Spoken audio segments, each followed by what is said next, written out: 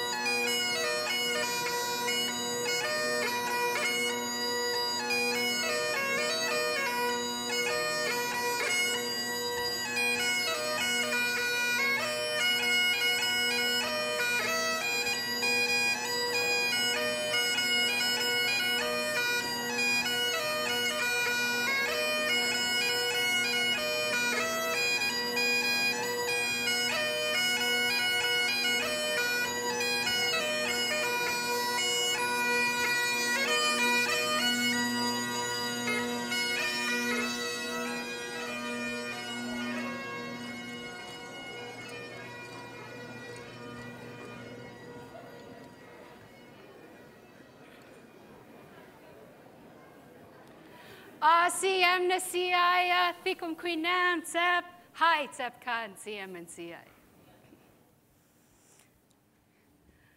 Asiam na siaia, hadistam tocho mokchen, nan wanai shwalo na siam na siaia. Anta chachlia talit an atla, chachach o maskuiam tamas. Than amen ath tatsamkin siam. Than amen ath tatsamkin siam. CM. Zet not smarten, thana humasquium schwalla quatana wail. Chu nem ta snowayat not smarten, thana schwalla qua, eh.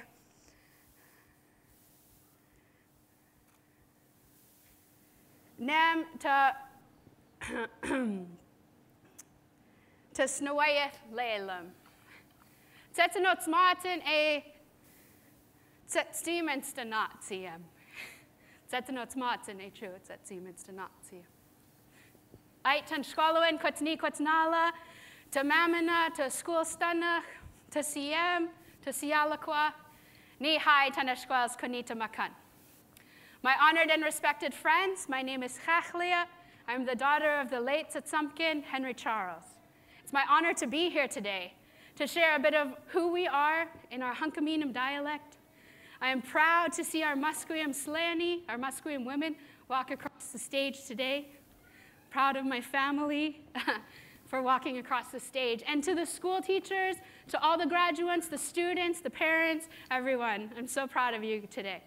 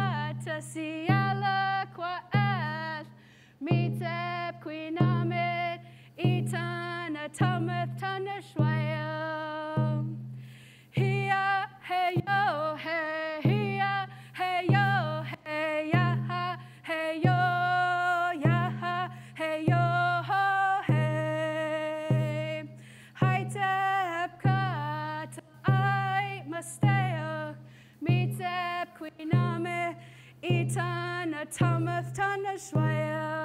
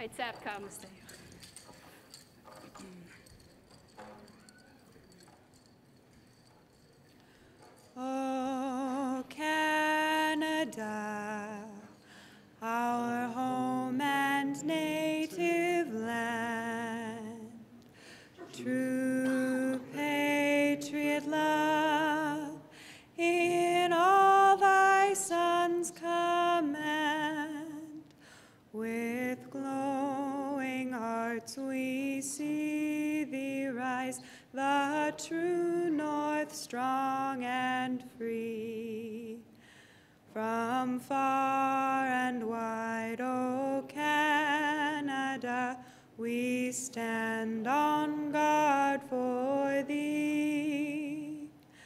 God,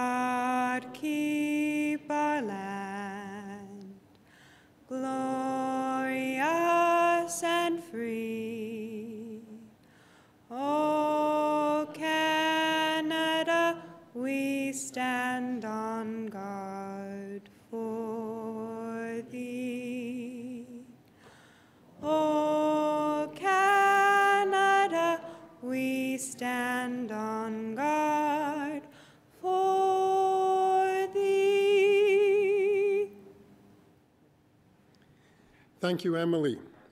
Emily King is a student in our Theatre Arts Studio 58 program. Please be seated.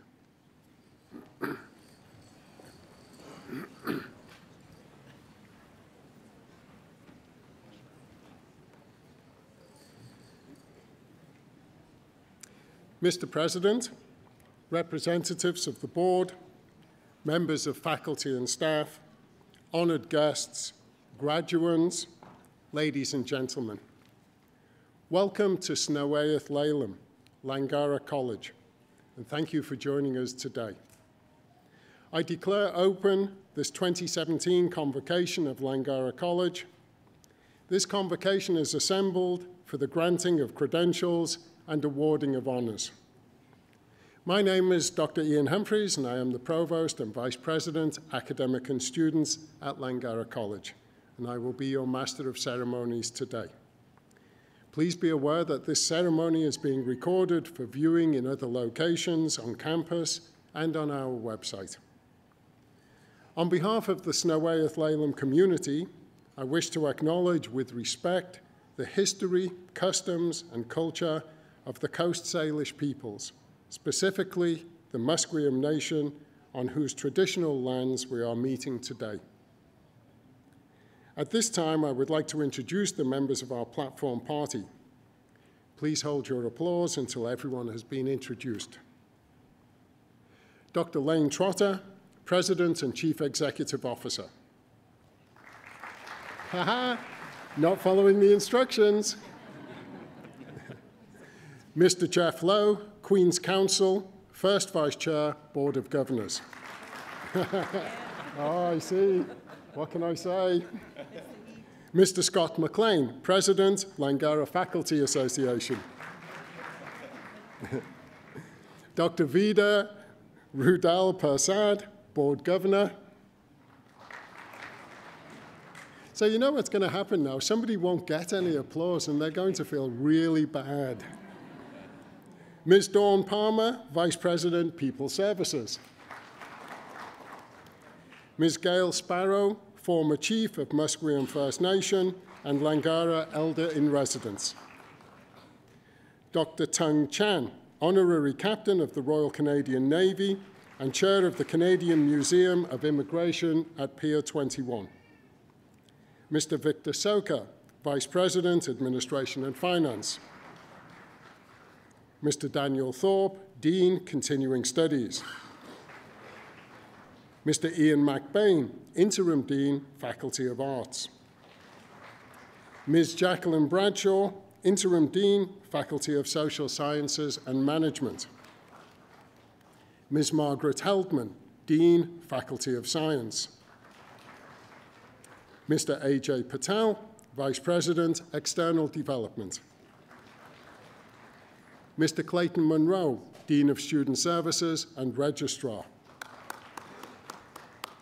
Mrs. Moira Guckstetter, Director, College Advancement, and Executive Director, Langara College Foundation.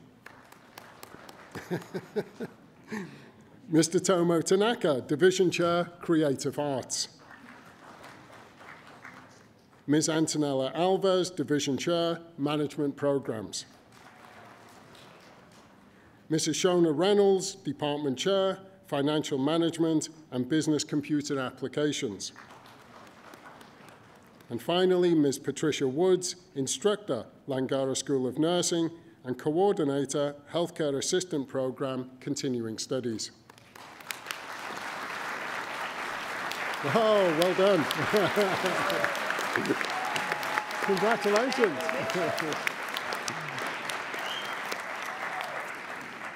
I would also like to recognize that representatives from the Langara Students' Union have joined us in the audience for today's ceremony. Thank you for joining us. At this time,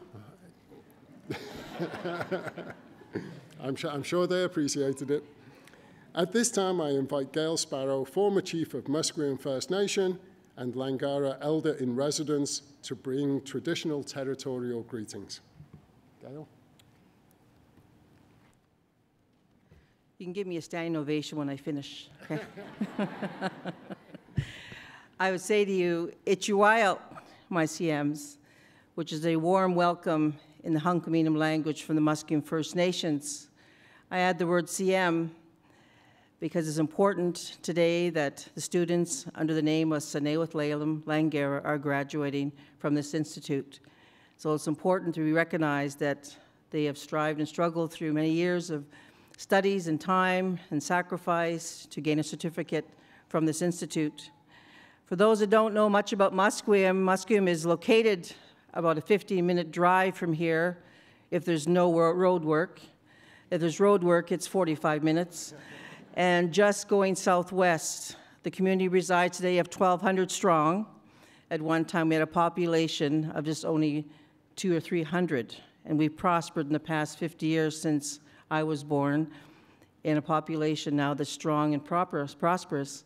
Musqueam First Nations also follows protocol, and before I forget, and I might get hit on the head from somebody, that I must recognize that we've also blessed a name upon the President Lane Trotter, known as Stakaya, which his name is means wolf, and also to recognize from our Musqueam First Nations our elder Mary Charles, who's here, and her family, the Charles family, and the Grant family, and the Sparrow family, the Guerin family, recognizing that their children are here graduating from this institute. So part of knowing who Musqueam is is we want you all to know that the very earth that this school is built on was the traditional village of the Musqueam First Nations. We roamed and, and worked the land and prospered with rich cultural heritage. And Laylam has a significant name because it's called House of Teachings. And in the House of Snow, you learn about who you are from the matriarch and the patriarch. And the family lived the mother, the father, the brothers, the sisters, the cousins, aunts, and uncles. And your Senewith was either you took the teachings and you took the best and learned wise teachings, and it stayed with you. But if you didn't listen and you took teachings in that from there that weren't good teachings, then again, your destiny was outlined for you also. So just like Langara, the students have taken the best from an institute with the name Senewith, which is House of Learning, and have now graduated. Musqueam people have always been one of the first. We had the first ever youngest chief and council in Canada. It was Chief Johnny Sparrow, Andrew Charles, councillor, and Jim Bill Guerin, a councillor. We had the first ever elected female chief in Canada, Gertrude Guerin. We had first ever cases of lawsuits against the government for breach of trust and our fishing rights came from Musqueam.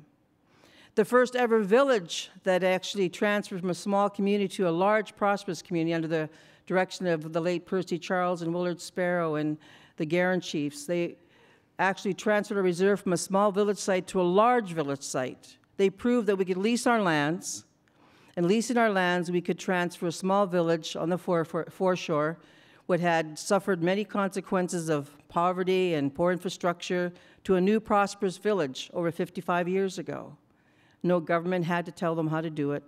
No government could restrict them. It was the wisdom and the knowledge and the strength and the power of the leadership that did that, and we set a path for the many villages in, in our country today under First Nations. We want you to know that we're welcoming people. You are welcome at any time, anywhere you are, to come over to our community, and we welcome you. The significance of the words when we say Haichka, we put our hands up and we say thank you. And that's our open arms and open hands that we have. We are one, we're of one mind, one spirit is our belief in Musqueam First Nations. So today, when the students go forward, you've graduated from an institute rich in cultural heritage, rich in tradition, and more importantly, rich on the land that the school is located on. I leave you with the Musqueam's message that always know that we too are coming from a prosperous community. Through education is knowledge, knowledge is power, and your certificates does not have anywhere written there for you to quit. And historically today we have four students under the Healthcare Assistance Program who are graduating for the first time under the new name from Musqueam. We're honored, we're proud that we have these four ladies graduating for the first time from Musqueam under the new name. So now it's your turn to go forward. Yes, Charlene, we give them a standing ovation. Um, I want to just recognize first that you know, because it's, it's not an easy road coming from the community and going and transferring to the college to take a course. And it's Evangeline Guerin, it's Paige Grant, Laura Paul, Tracy Sparrow, and Julie Sparrow. So when they take the stand, recognize their Musqueam students graduating.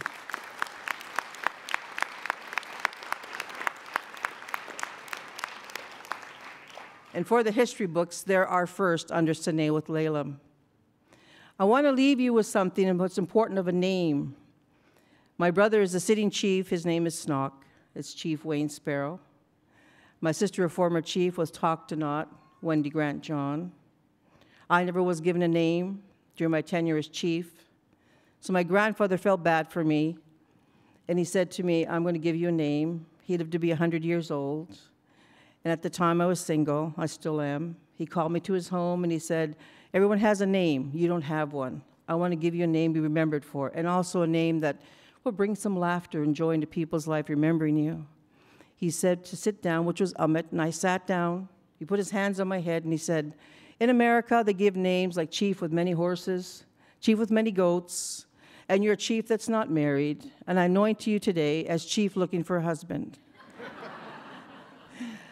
He passed during my tenure as chief. I'm the chief, the former chief, still looking for a husband. I'm grateful for that name because it's important our people too were ones of laughter in the house of Senewith. There's lots of laughter, lots of love. And he said, if you feel a moment to share that, share that story. And I share that with you. Chief looking for a husband today from the Musqueam First Nations. And I raise my hands to all of you, and if we could do that together and say, Haichka, Haichka, Marciems from the Musqueam First Nations of one heart, one mind, one spirit. Thank you.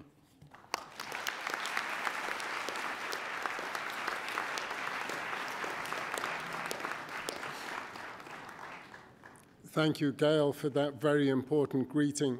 We value our relationship with Musqueam and appreciate your participation today.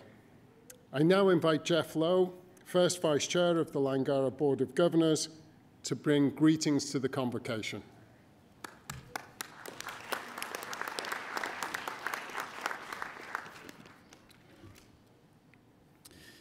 Dr. Trotter, distinguished guests, friends, family, staff, faculty, and of course our graduating students. It's truly my privilege to make these remarks on behalf of the Board of Governors of Langara College. You probably all feel this has been a long time coming. But we're here to mark a milestone in your life of each graduating student. And it's, it's a very important day for each of you. But it, keep in mind, it's also a very important day for Langara College and it's a very important day for the board as well. It's very, very gratifying to sit up here, see so many bright young faces and so many loving family and friends with you. So on behalf of the Board of Governors, I want to congratulate each of you on your graduation. We know that this milestone has only been reached through your dedication and hard work. The motto of Langara College, as you probably know, is freedom through knowledge, although it's usually in Latin and I can't pronounce it. So um, but education, it's the great enabler in our society. It's going to open doors that would otherwise remain closed for you. You've all made a very important investment in your future. You must be all very proud of this accomplishment. But the hard work is now done, and it's time for a celebration. But we need to celebrate the strength and support you've received from your family and friends. We need to celebrate the incredible effort of the amazing, dedicated staff and faculty we have at this college. But most importantly, we need to celebrate your hard work and what you've achieved. We understand that the successful completion of your program of study, it requires a lot of persistence. It requires a lot of sacrifice. On behalf of the Board of Governors, I want to offer our heartiest congratulations on your graduation. I'm delighted that I'm able to help you celebrate today. It's a tremendous honor for me to do that. I also, on behalf of the board, I would like to extend an invitation. Please stay connected to Langara. It's part of you now, and we really want you to help us shape the future of this great institution together.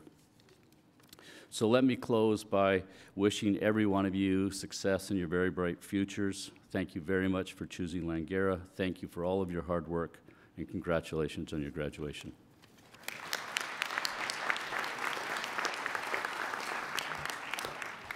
Thank you, Jeff. I'm now pleased to call upon President Lane Trotter, who will provide greetings.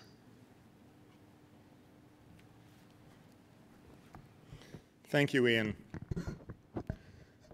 Platform Party, colleagues, students, guests, welcome to the 2017 Convocation Ceremony of Langara College. The six convocation ceremonies that we are hosting this week are the largest number that we have ever hosted.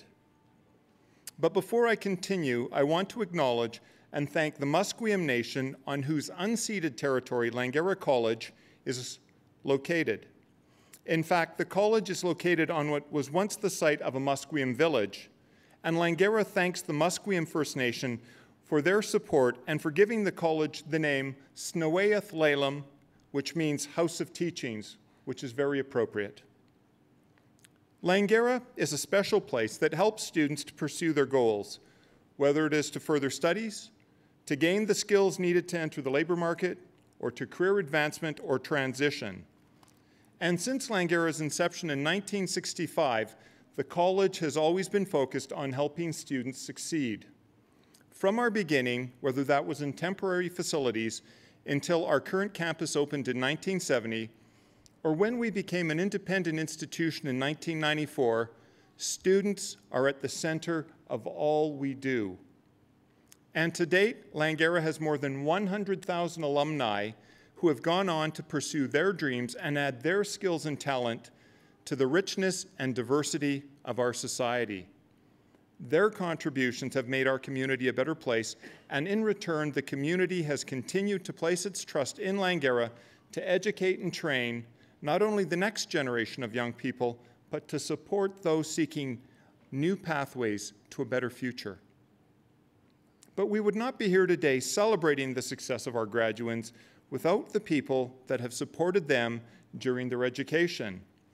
We need to thank those, many of whom are here today, who have supported you, our students, while you pursued your studies, whether it was your parents, other family members, spouses, and significant others, or even friends. And I particularly want to acknowledge and thank our faculty and staff for their dedication to, and commitment to your education and success. Finally, I also want to thank our Langara College Foundation and those members from our community who have donated funds to create scholarships and bursaries to support student success. They have all played a role in helping our students be here today. So on behalf of the college, I want to publicly thank all of those individuals for their support you have provided in helping our graduates succeed. To our students, You've, you've achieved a milestone in being here today. But before you leave, I want to take this opportunity to offer you some advice, especially since you're a captive audience. Recently, I had the privilege to listen to Julie Payette speak at the annual Colleges and Institutes Canada conference about her experiences as an astronaut, seeing the Earth from space from both the Space Shuttle and the International Space Station, which is a partnership between the United States, Europe, Japan, Canada, and Russia. It's been in space for 16 years with a goal to use, to use science to constantly push the limits of knowledge. One of the points that Ms. Payette made is that we seldom hear about the International Space Station because it works. She also said in space, performance, skills, ability, and competence are what count, not gender or race. The International Space Station has Russian and American components and modules that were made by different measurement systems, yet they still fit together. And the International Space Station demonstrates how five different and sometimes competing nations can work together because any failure in space could be catastrophic. Ms. Payette also said that seeing Earth from space puts things in perspective about how tiny and tenuous the planet actually is. She noted that there is only a fragile 100 kilometer cushion of air from the ground to space.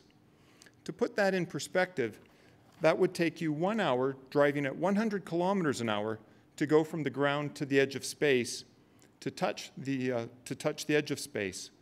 So anything that affects the cushion will have an immediate effect on all of us. She also noted that from space you go from Vancouver to St. John's in nine minutes, and you see a sunrise and sunset every 45 minutes. Ms. Payette's perspective is that our planet is much smaller than we think. And she also said that in space you must work together. It is a dangerous endeavor. You must keep your mind on the pursuit of excellence, otherwise, things will go sideways. Her words are very appropriate, especially in today's unsettled world. And now more than ever, we must all work together or things will go sideways on us. Ms. Payette made another point that I think is very applicable for today's convocation ceremony. She said, whether in space or in college, it's all about knowledge. What this means is that education is a journey, not a destination. So continue to build your knowledge and skills and recognize that today is not an end, but just a milestone on the journey of your life. Her final words, I think, were very salient. Champion the values that you believe in. It is important for us to stand up for the things we believe in to make a better society and a stronger community. But we must always be prepared to have a dialogue with those who disagree with us if we are to maintain the democratic structures that underpin our community, society, and country. We may disagree with each other, but it, it, it is on us to be honest and protect our right to hold different perspectives. If we do not protect our ability to respectfully disagree with each other, then we risk a breakdown of our democratic institutions. So, as you leave the college today to pursue your path, appreciate the opportunities you have been provided and consider how you will contribute your knowledge, passion, energy to build a better, more prosperous, sustainable, fair, and democratic society because as Ms. Payette noted, we all share the same spaceship. Thank you for your time and patience. Enjoy your day. You've earned it. Tomorrow, the work begins. Thank you.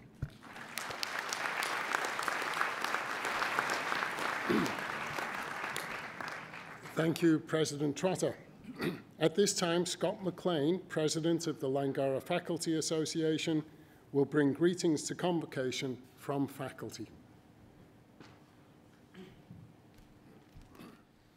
Good afternoon. I would first like to acknowledge that we are on the traditional and unceded territory of the Musqueam and Coast Salish peoples and to thank them. Board members, President Trotter, honored guests, colleagues, and graduates, it is a privilege to extend to you on behalf of the Faculty Association our very best wishes on this special day. Today is an acknowledgement of the hard work and dedication that you and your families have put towards your studies. We appreciate the efforts and the sacrifices you have made in order to accomplish what is being recognized here today. I know that I speak for the entire faculty, excuse me, when I tell you that it has been a great joy and honor to have been a part of your journey. We understand that what you have accomplished is not easy and respect the perseverance and commitment that you have all shown. You are inspiring, and your success is truly impressive. As faculty, we have the opportunity to make an important contribution in the lives of our students. But learning is a reciprocal process, and teaching and working with you has been a rich learning experience for us, and we want to sincerely thank you for making us better educators. You're now going on to do important work in our communities or to pursue further studies. We know that you will continue to make significant contributions as you move forward in your lives. Thank you for choosing Langara. Congratulations, and we wish you all the best. Okay.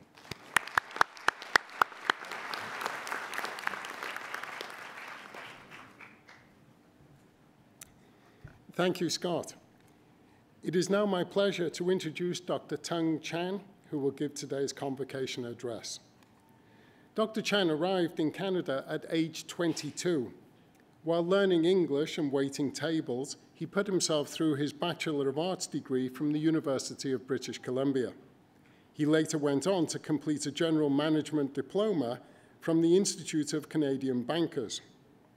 Dr. Chan is currently the chairperson of the Board of Trustees of the Canadian Museum of Immigration at Pier 21, a member of the board of the Vancouver Foundation, the Laurier Institute, and the Canadian Foundation of Economic Education. In the past, he has been a councillor and deputy mayor of the City of Vancouver, manager of a Royal Bank branch, vice president of the TD Bank Group, and district vice president of TD Canada Trust. He was chief executive officer of Success and has volunteered in leadership positions at numerous civic, cultural, business, and educational organizations. Dr. Chan has received the Queen Elizabeth Golden Jubilee Medal. The Diamond Jubilee Medal is a member of the Order of British Columbia, has been appointed an honorary captain in the Royal Canadian Navy, and has received an honorary Doctor of Laws degree from University Canada West. Please extend a warm welcome to Dr. Tung Chan.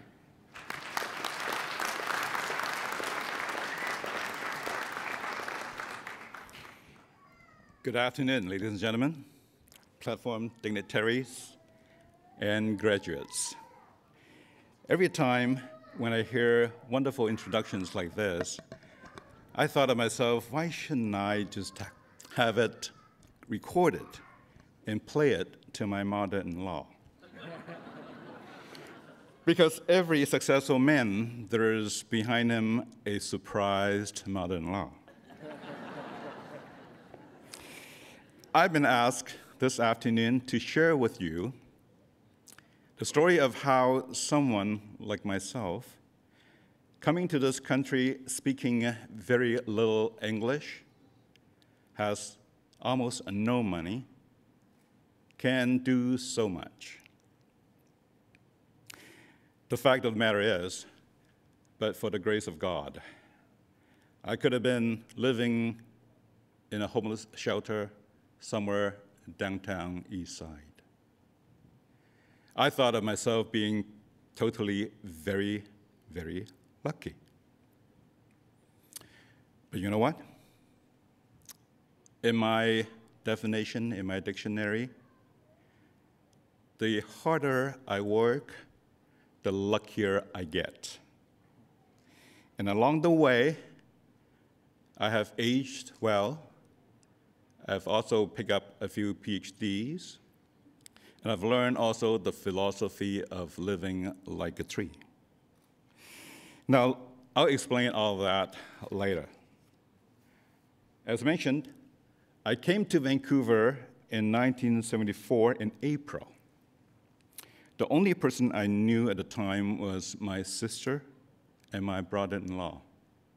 The first job I had was waiting on tables at the Terminal City Club downtown. I grew up in a very small village in Hong Kong and had no idea of the things like beef stroganoff, steak tartare, and Wiener Schnitzel. So I would take the order, I would place the order, and I would take whatever comes out from the kitchen counter, and I served it. Soon after I started, the cook started calling me superstar because I made so many mistakes. When the cook saw me walking into the kitchen, they say, Oh, Jesus Christ, here comes Tung. and at that time, there was a movie called Superstar, Jesus Christ Superstar. So that's my nickname. The club's dining room opened only from Monday to Friday. On Saturday and Sunday, I work in another restaurant. Why? Because I want to save up the money to go to university. Why? Because I knew that if I want to get ahead, I need to have better education. And I knew also, as a newcomer, I have to learn more about this country. Because in those four years, first four years, I never knew how the sun sets on Saturdays and Sundays. I'd be working inside. I'd be waiting on people who are out there celebrating Christmas, New Year's. So I thought the only way I can learn about this country is to go become a volunteer. So on Saturday afternoons, I go down to Chinatown and volunteer for the Immigration Service Society Success. And I was there taking healthy senior citizens to visit Chardin seniors in rest homes. And you know something? In 1990, when I wanted to run for the city of Vancouver, those healthy seniors that I volunteer with ended up being the best campaign workers I ever had. Now, UBC's arts faculty accepted me in September of 1974, same year I came here. And I decided to major in sociology. I was fed up with, unlike other people from Hong Kong or Asia, go into commerce, go into electrical engineering, and go into some other technical things. Not that I don't like them. I wanted to learn about humanity. But the true fact was, I had given up hope on business, and I've also seen how unpredictable that wealth could be. You see, I went to Holland when I was 18 after high school in Hong Kong. I was supposed to go there to study. But I didn't know that people in Holland speak Dutch. I had no idea. I was totally unprepared. I went there because a high school or childhood friend of my father had promised him that he will look after me when I get to Holland, that he will put me through school, that he will pay for my education. He actually gave me a one way ticket to Holland. And my father gave me a couple hundreds of guilders. I got there. I found out not only I do not have, I did not have the academic credential to be accepted to a university. My uncle wasn't really prepared to fulfill his commitment to my father. I had no friend, had no money, no hope. The thought of killing myself, committing suicide, had entered my mind several times. But I forced myself to look at the positive side, the bright side, and to force myself to develop a sense of positive think, thinking. A total stranger came out of nowhere. He owns a restaurant and he took pity on me. He offered me a job as a waiter. And so that it was for two and a half years.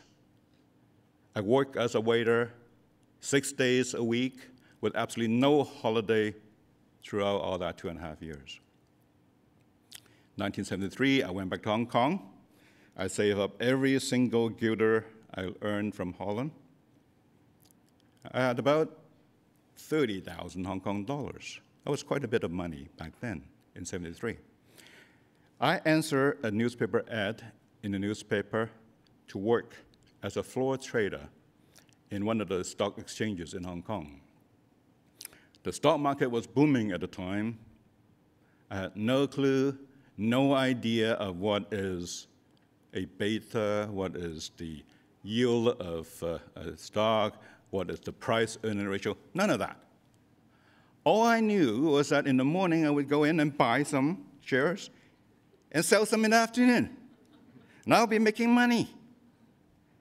I also learned there is something called a margin accounts, where you can put up your stock and the bank will lend you more money, and you buy more, you borrow more, you, you then put it again and buy more. That's great. At that time, I thought my life's all set. For the rest of my life, I wouldn't have to worry about money. I could live in luxury all through. Then the stock market crashed. Margin was called. I was back to zero, nada, zilch, nothing. I was thinking of killing myself again.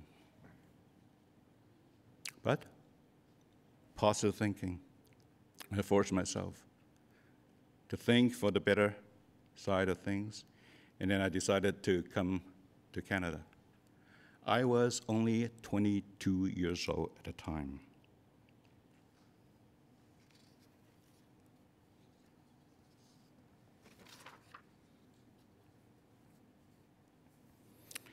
So that's why I decided not to go to commerce.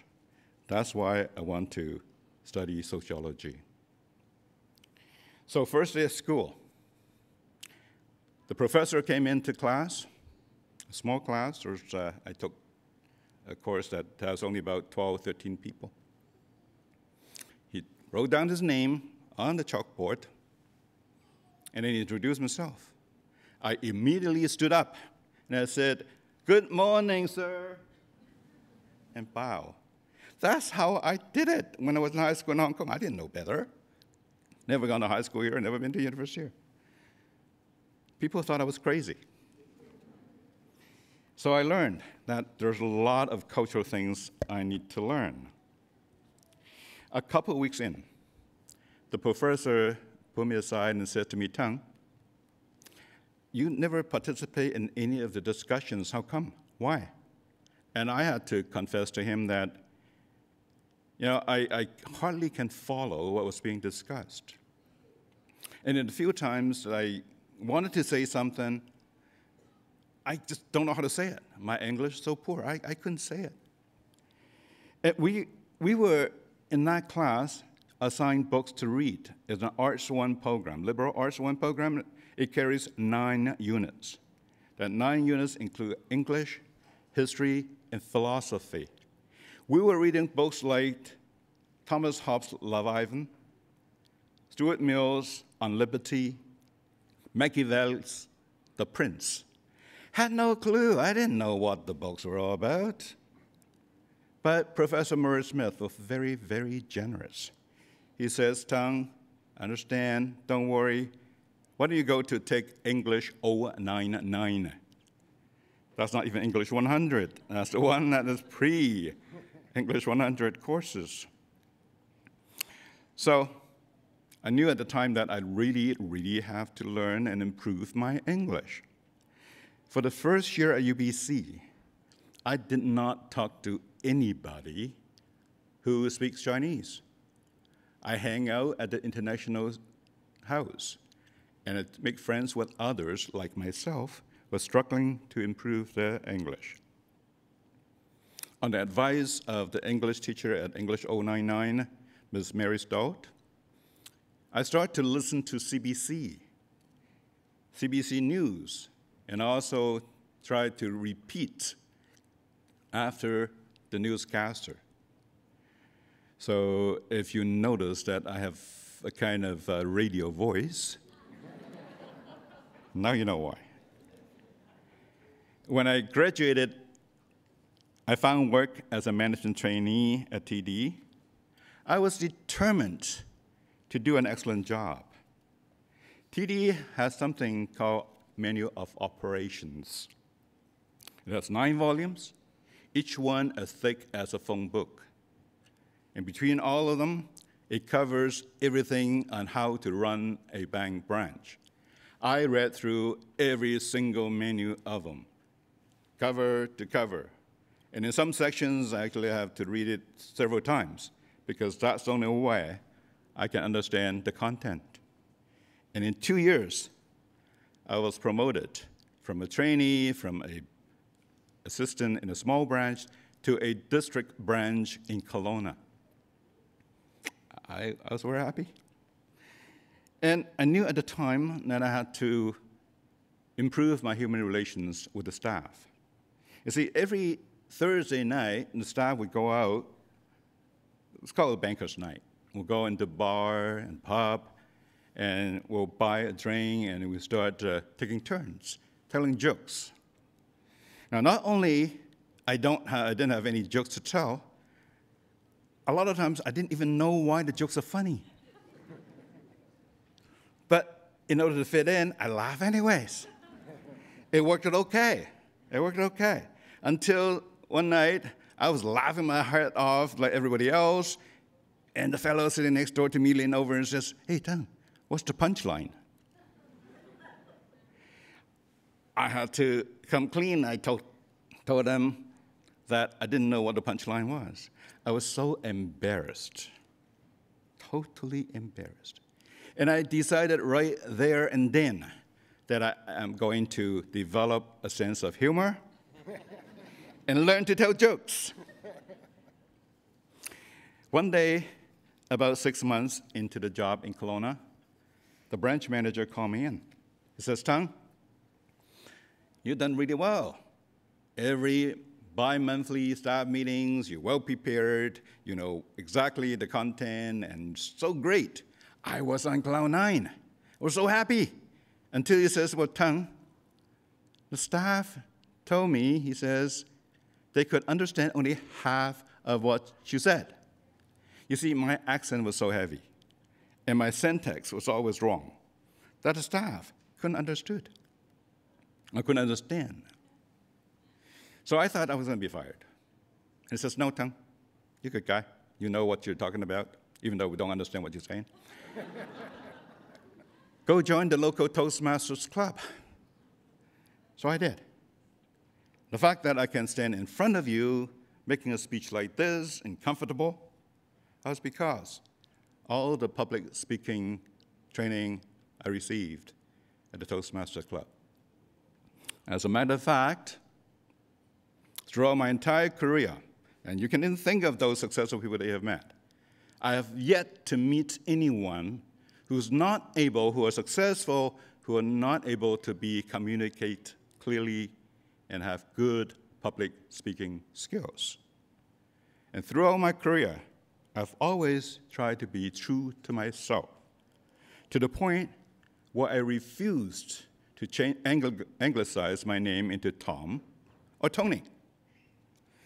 But I'm not so stubborn that I wouldn't try to do my best to reduce my accent. In fact, I have taken courses on accent reductions so that now at least I know the difference between a, B, a, a long A and, and a short A. And I know to avoid things like when I tell someone, particular a lady, that I'm going to go to bat for her. I wouldn't say that because she might have thought of other things. but now, you're probably wondering, hey, Tung, what do you mean at the beginning that, that you talk about you age well and that you pick up a few PhDs? Well, let me tell you, age for me stands for authentic, generous, and excellent.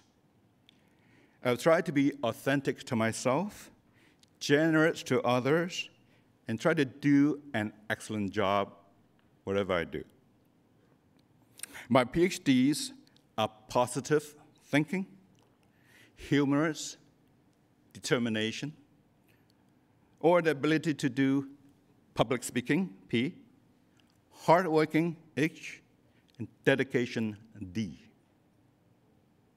But what about the living like a tree philosophy? I retire early at age 55 from the position of vice president with TD Bank to become the CEO of Success, a social service organization. My total compensation dropped by 75%. And yet, I gave back half of my first two years of service of my salary to success. Some people thought, Tung, you're stupid. But I look at how a tree lives its life. It would take only what it needs from the environment. It would take carbon monoxide, carbon dioxide that's harmful to people, and give back to the air, to the environment, oxygens, where it's beneficial to other lives on the planet. planet. Don't you think? That is how we should all live. So, on this important day of your life, I'd like to wish you all age well, pick up a few PhDs on your way, and live like a tree.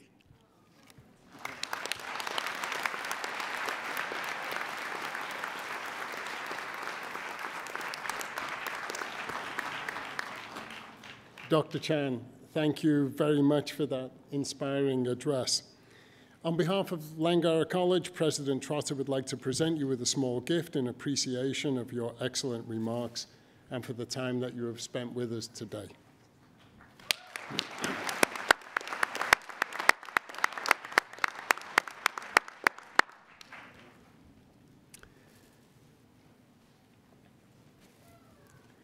And now on to the presentation of the graduands, and I'm sure that's why most of you are here with us today. President Trotter, the candidates to be presented to you today and those who are absent have fulfilled all the requirements for their respective credentials.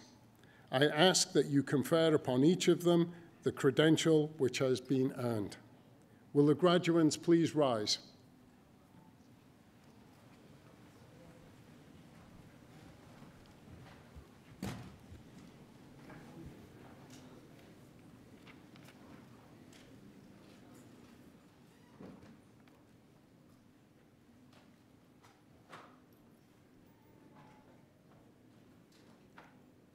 By the authority granted to me by the government of this province, I admit you and those in absentia to the credentials to which you are entitled.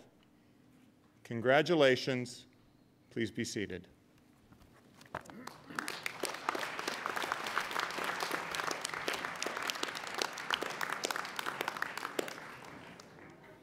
I, I always have to ask now if everybody feels different now that you have gone from being a graduand to a graduate. Such a small number of words can make such a big difference. We'll now begin the presentation of our graduates.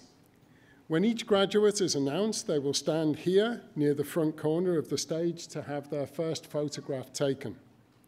They will then be greeted by some of the members of our platform party on my right and have a second photograph taken with President Trotter. This always one seems to be a bit difficult because people forget to stop. So please stop here and have the photograph taken. Audience members who want to move, oh, sorry, faculty who would like to congratulate your graduates may approach the platform to my right. Audience members who want to move closer to the front for a photo of their graduate may come to the same side of the platform when it is close to the time that their graduate will cross the stage. Please be mindful not to block the view of others and return to your seats afterwards so that others may approach the front for photos. I now ask Ian McBain, Dean of the Faculty of Arts, Jacqueline Bradshaw, Dean of the Faculty of Social Sciences and Management, and Daniel Thorpe, Dean of Continuing Studies, to announce the names of the graduates.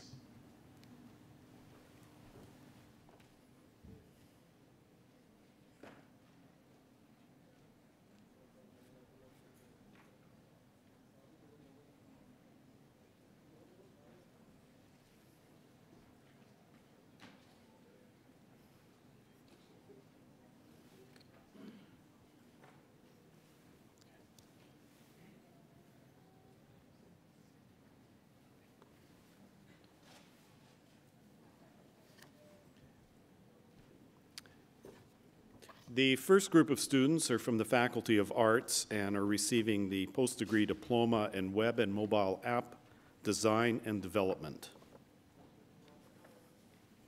Graduating with distinction, SETI.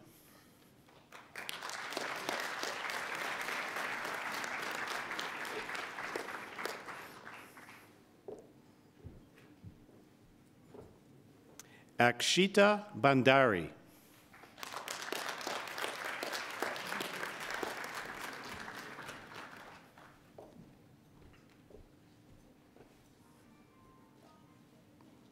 Graduating with distinction, Jaspreet Brar.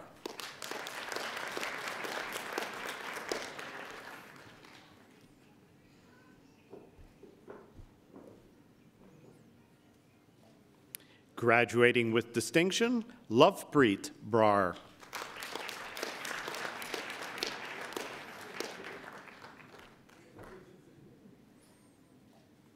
Graduating with distinction, Rajdeep Kaur Brar.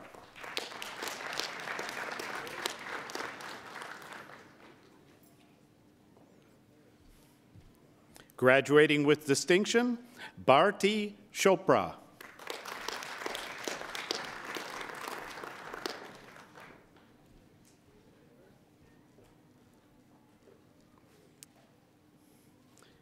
Graduating with distinction, Leonardo Coelho.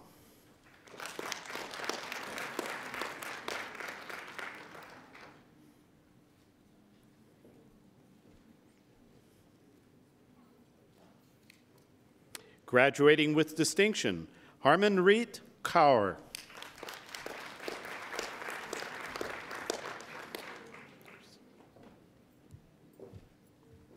Graduating with distinction, Harsimrat Kaur.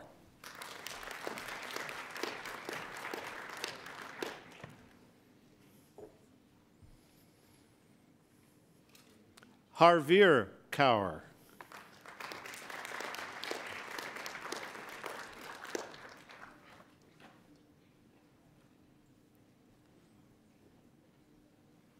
Graduating with distinction, Jaspreet Kaur.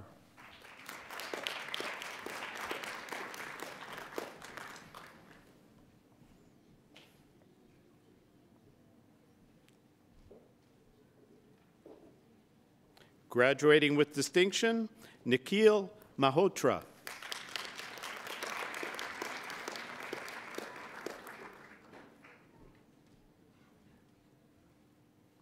Graduating with distinction, Gaganpreet Messon.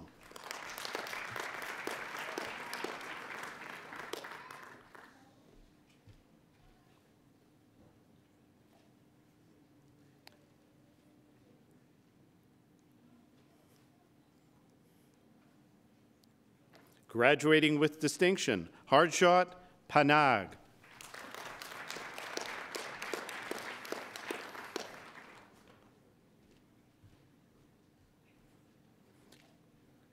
Graduating with distinction, Jaskaran Singh.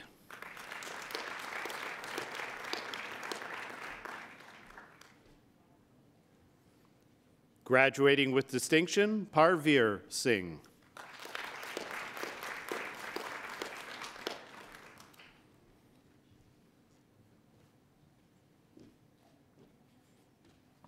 Kamalpreet Singh Sran.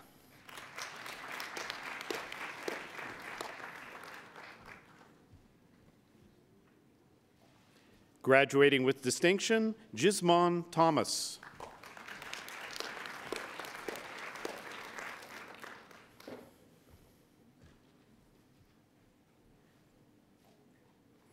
Graduating with distinction, Xiaoyu Shu.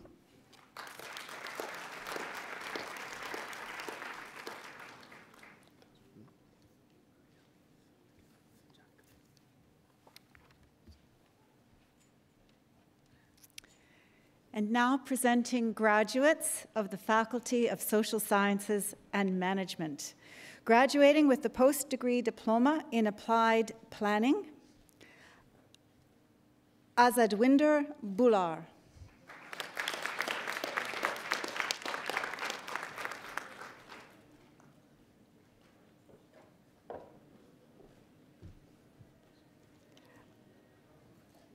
Amrit Preet Kaur Dinsa.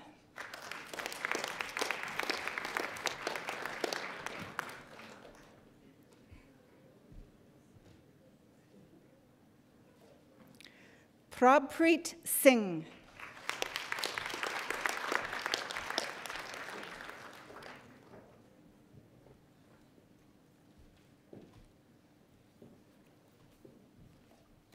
Updeep Singh.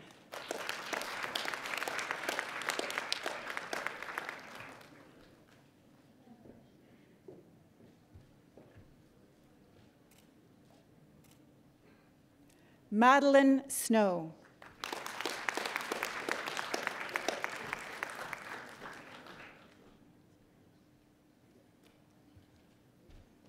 Tisha Mariat Thomas.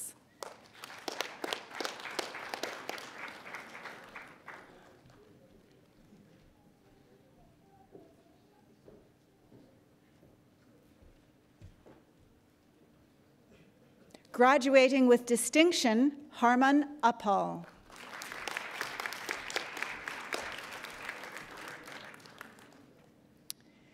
Graduating with the post-degree diploma in business administration, Aditi.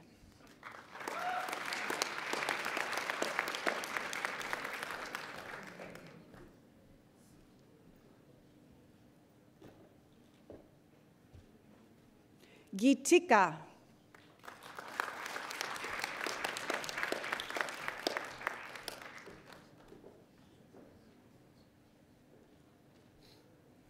Pritesh.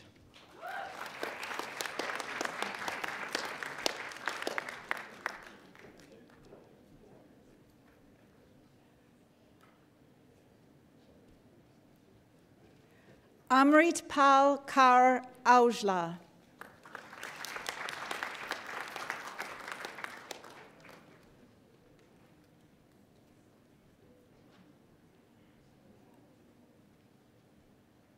Harpreet Singh Baines.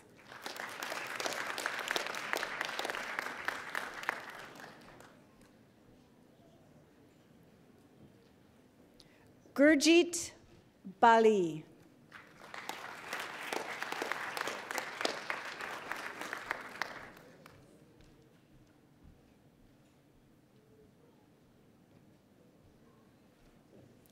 Akash Bansal.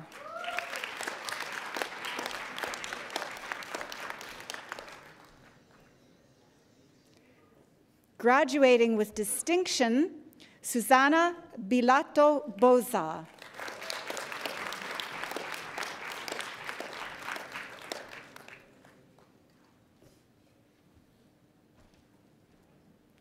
Dhruv Chada.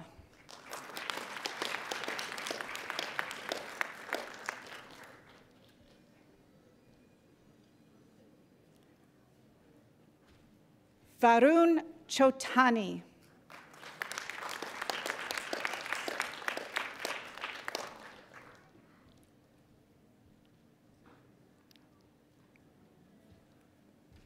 Amrit Chautari.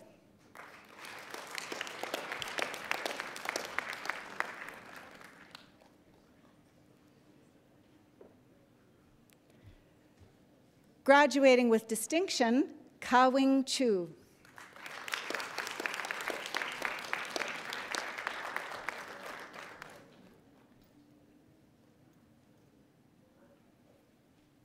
Mohammed Farhan.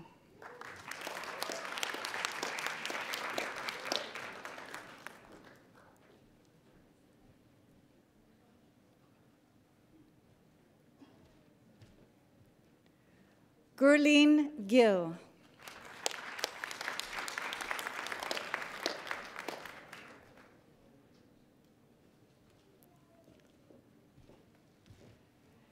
Navdeep Singh Hanspal.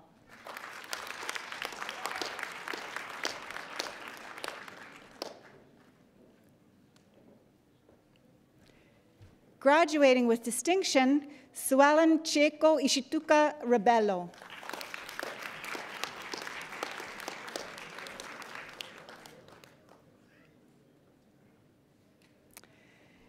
Nikhil Katyal.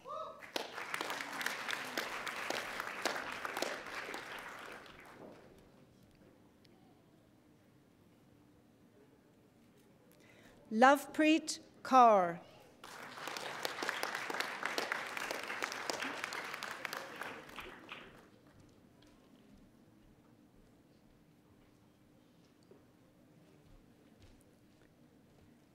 Manpreet Kaur.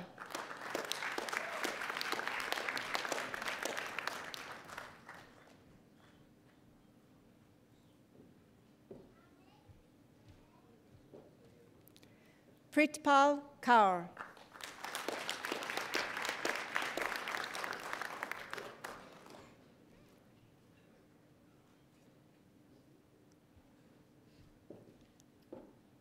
Ravleen Kaur.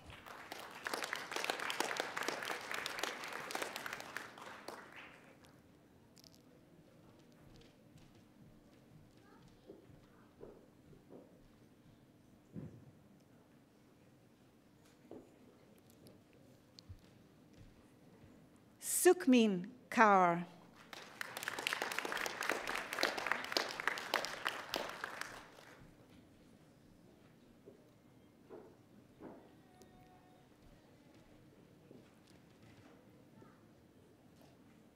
Nitin Kumar.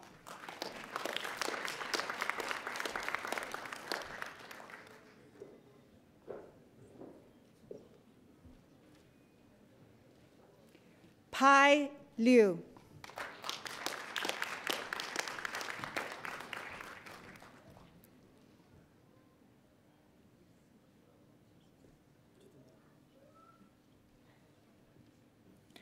Jatinderpal Singh Mataru.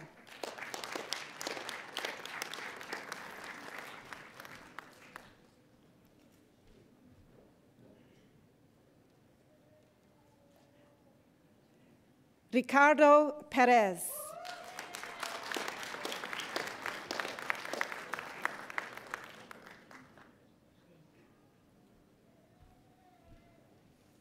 Eduardo Gomez.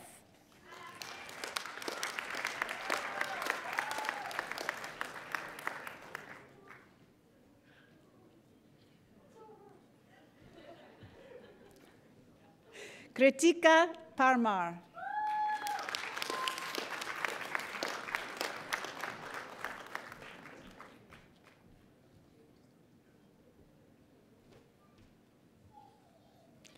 Leon Rodricks.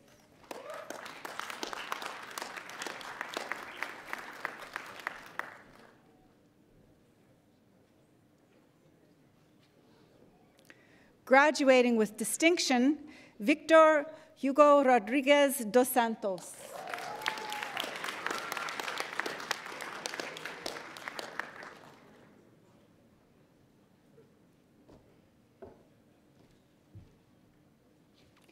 Maria Ferraz.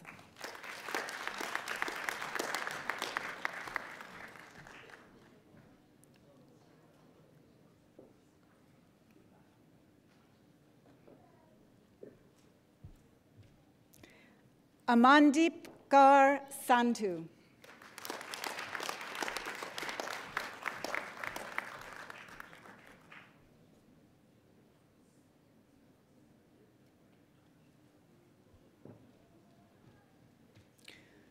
Bruno Aoki.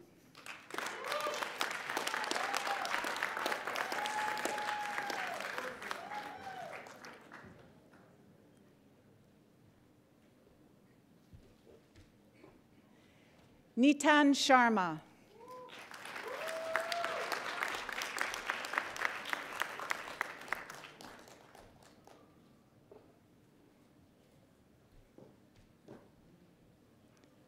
Priya Sharma.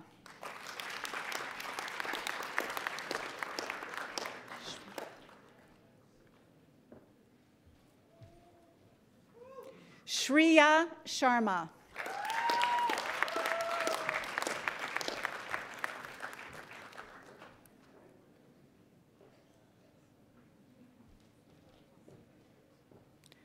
Harpreet Kaur Sidhu.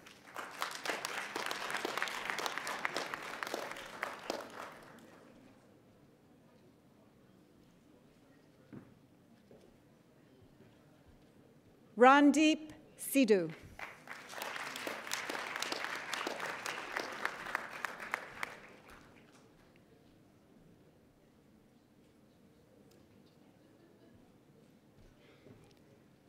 Balwinder Singh.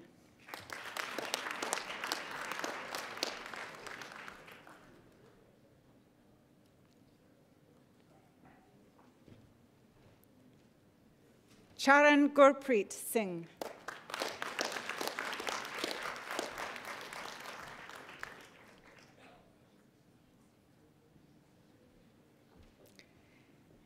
Inderjit Singh.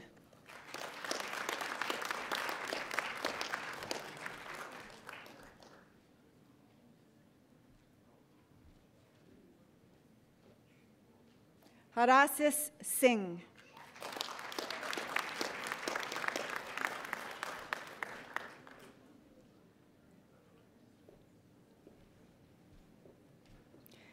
Maninder Pal Singh.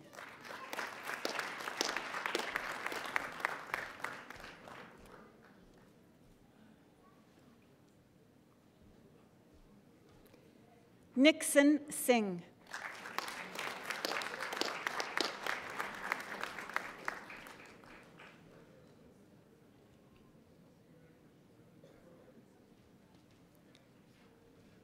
Simrandeep Singh.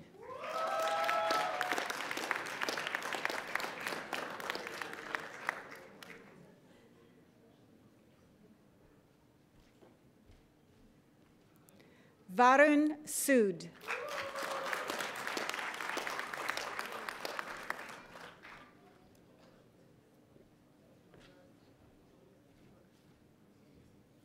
Siddharth Takiar.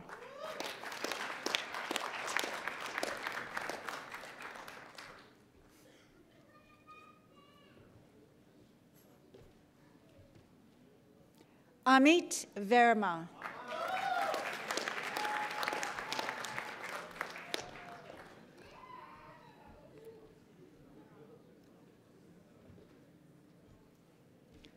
Rahul Verma.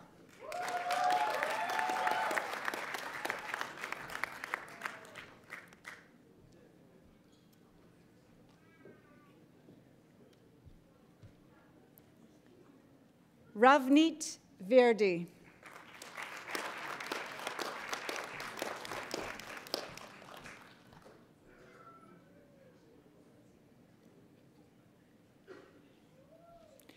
Barinder Singh Walia.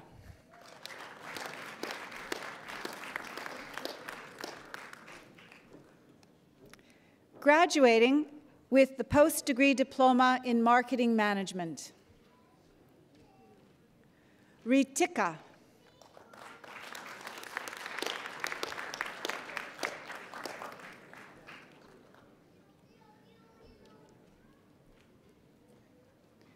Sandra Vassel Bove.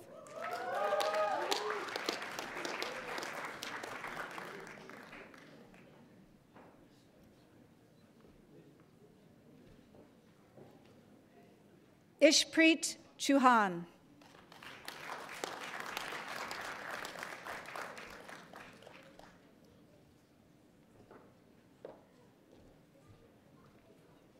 Ana Catarina de Macedo Aguiar.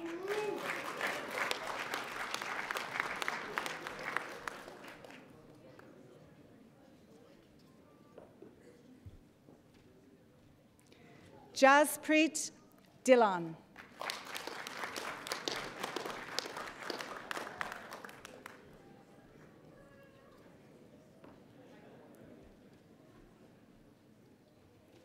Asim Datta.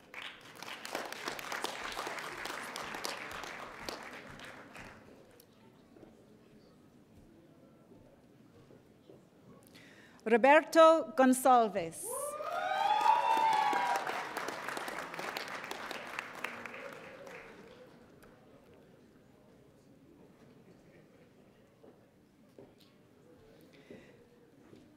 Kiranpreet Kaur.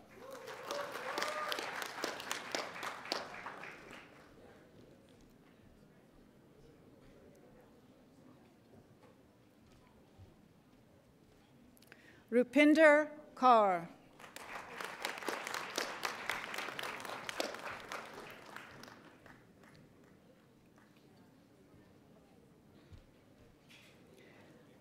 Anne Huang Lee.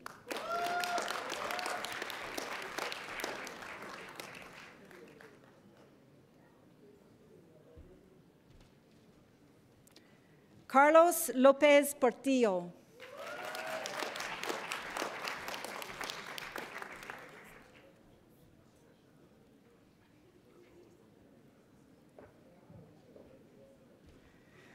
Donia Mehta.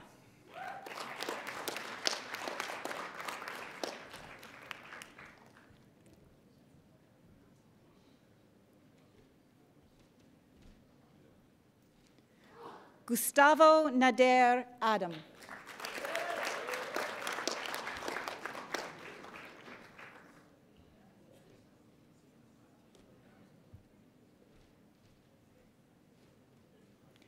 Diego Rondon.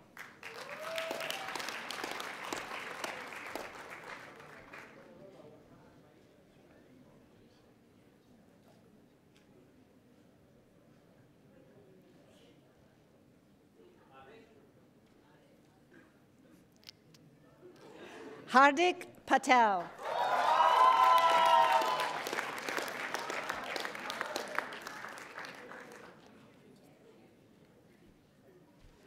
Hardeep Kaur Randawa.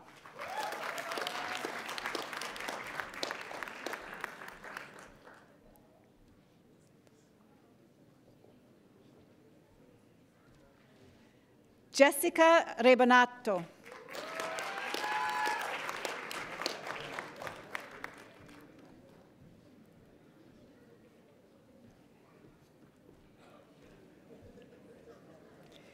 Guilherme Salas.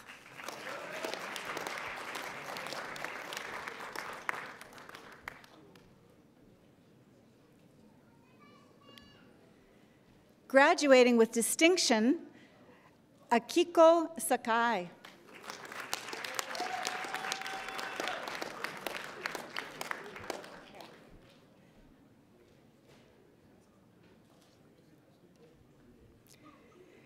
Camila Schmidt Tibies.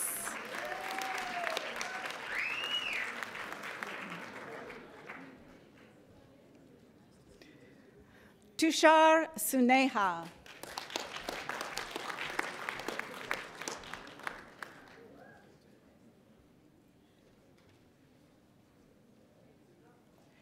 Kevin Vicaria.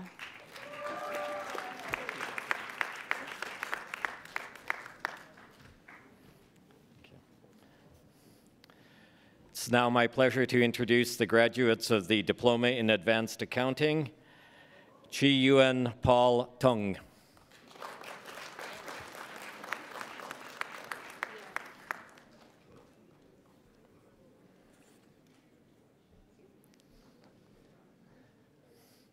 Now the Certificate in Advanced Integrative Healing, Eleanor Hannon.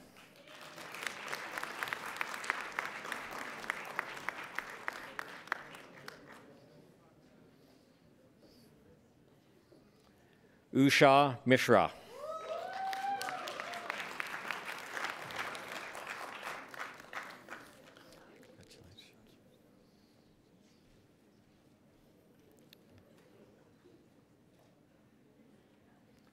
Marlene Morris.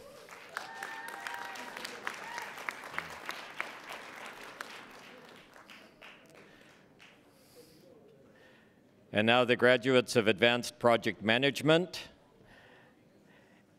Emily Sidrash.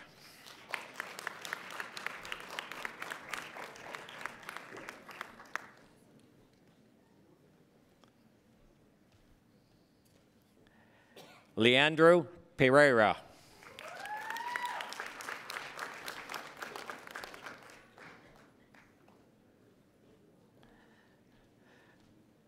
And now the graduates of digital film production, Jack Lee.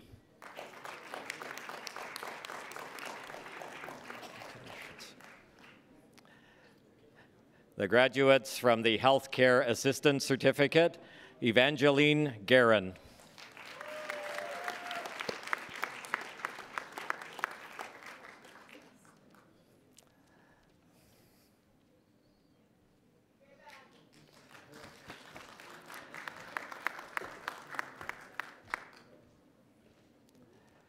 Paige Grant.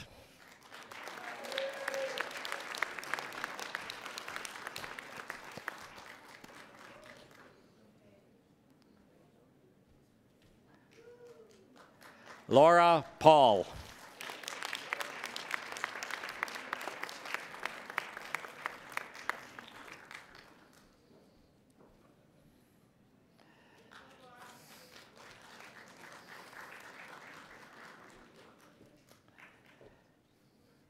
Tracy Sparrow.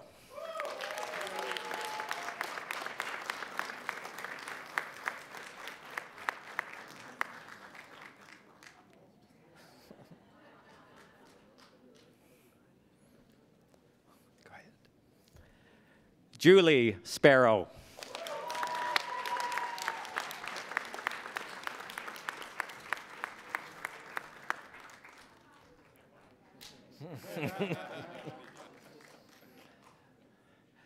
and uh, now the graduates from LEAP, the Learning English for Academic program.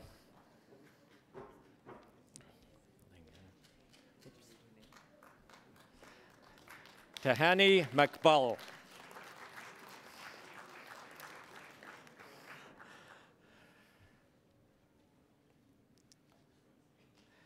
Risa Tamob.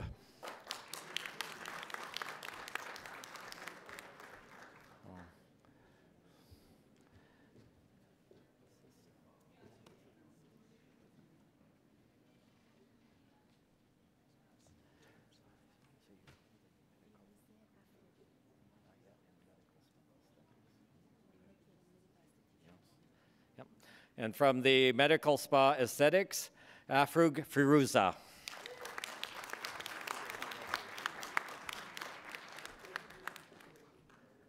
From the Medical Office Administrator Certificate, Mika Valencia.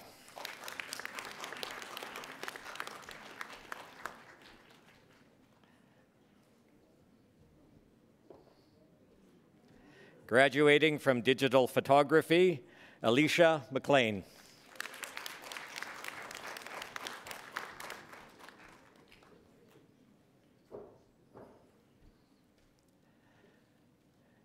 Kimberly Reed.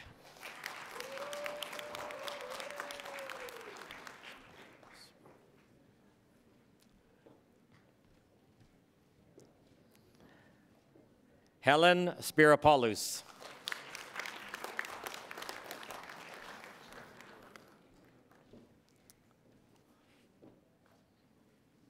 Melissa Tam.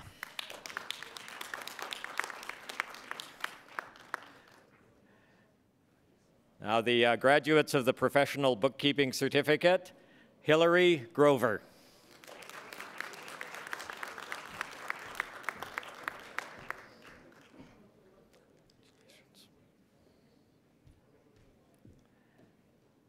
Glenda Ramos.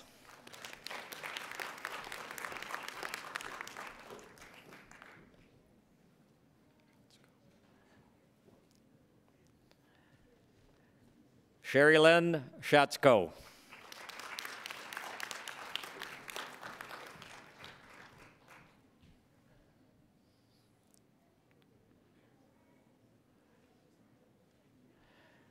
Graduating from the Professional Sales Certificate, Max Leal.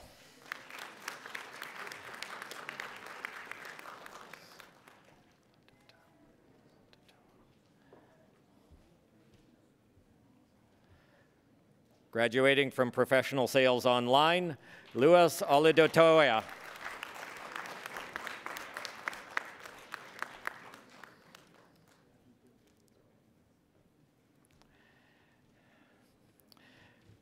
Graduating with a diploma in registered massage therapy, Harold Keach.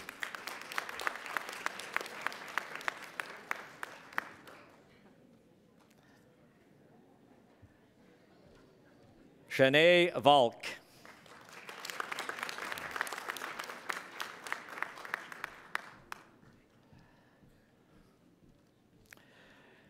Graduating from the Strategic Resilience for First Responders Certificate, Jacqueline Brind.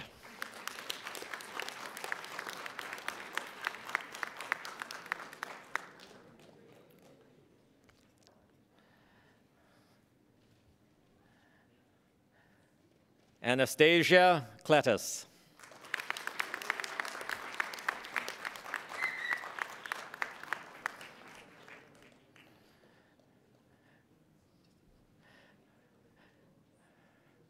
Graduating from the Therapeutic Touch Practitioner Certificate, Kumiko Hughes.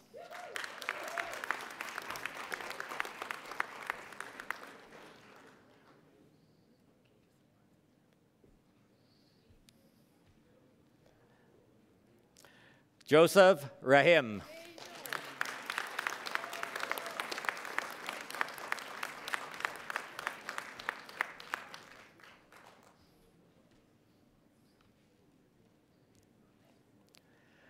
Leslie Reichert.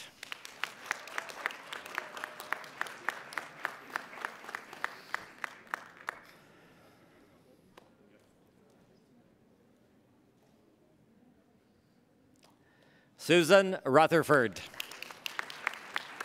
Well done.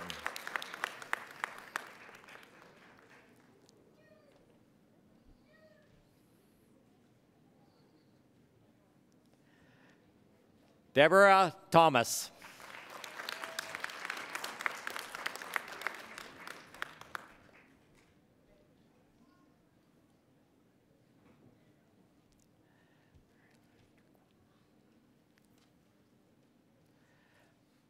Mary Lou Trinkwan.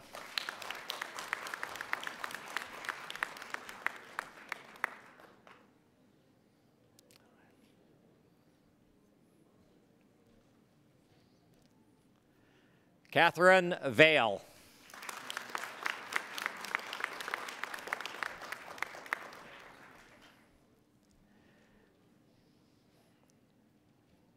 And graduating from the Volunteer Coordinator Certificate, Maggie Stewart.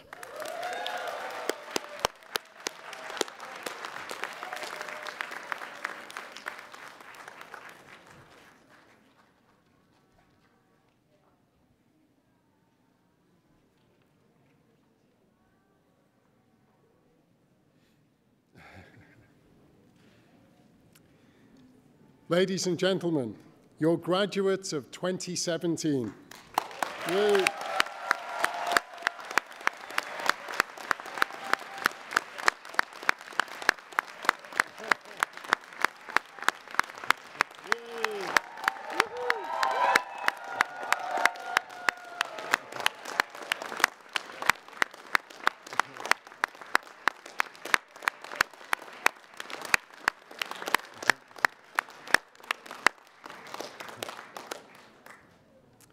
It took them a little while to get into it.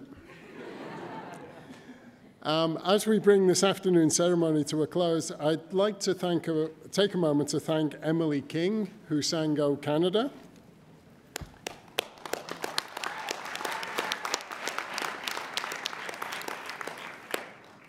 Emily Helsden, who played the violin prior to the ceremony and who will be playing at the reception. Mike MacDonald, who led our procession. Christy Lee Charles, the Musqueam singer and drummer who led our platform party. I'd also like to extend our very sincere appreciation to the many college employees whose contributions have made this a memorable event. Thank you all.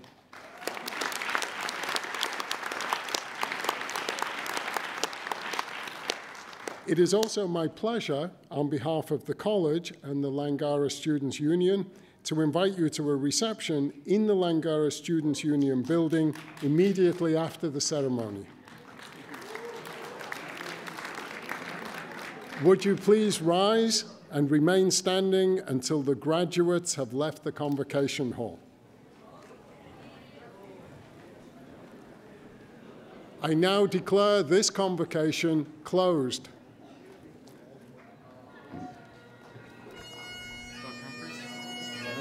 You.